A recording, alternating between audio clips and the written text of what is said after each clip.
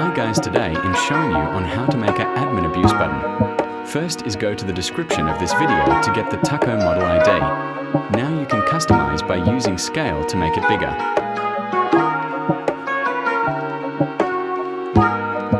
Now copy it and paste it into replicated storage. Now delete the Taco model that isn't in replicated storage. Now insert a script and paste the script in the description. Let's test it out.